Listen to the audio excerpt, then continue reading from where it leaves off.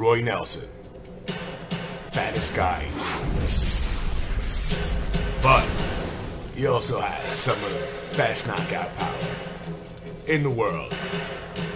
Imagine him taking on Mark Hunt. Now, both these guys have had losses in their career, but then again, both these guys have vicious, vicious power in their hands, and I think it'd be fun to see that fight. I think a lot of people, actually, I know a lot of people have been talking about it on the internet. It's trending, and whether these guys win or lose their, their fights coming up, uh, we still want to see them fight.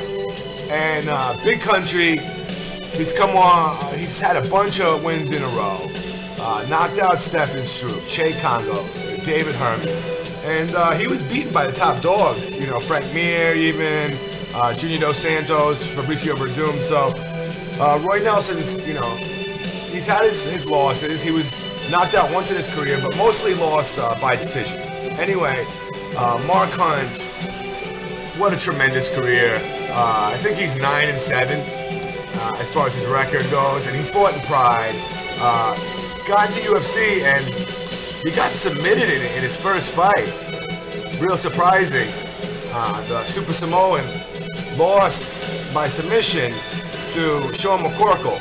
But after that, four knockouts, oh, excuse me, three knockouts, four wins in a row, and beat up Ben Rothwell, knocked out Cheick Kongo, knocked out Stefan Struve. So people really really think that Mark Hunt is moving up in, in the heavyweight division. But, you know, Mark Hunt's losses were all by submission earlier in his career.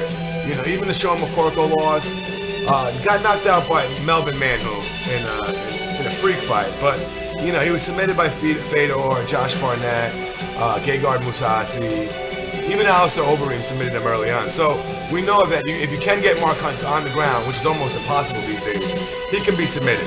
Anyway, I wonder what the hell would happen in this fight, man. I, I know it'd be a stand-up fight, but who would knock out who, guys? I can't really tell you.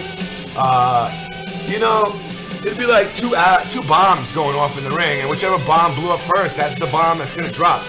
Uh, I don't know, double double knockout here, guys. You know, you've seen those on uh, YouTube. But uh, who do you think hits harder?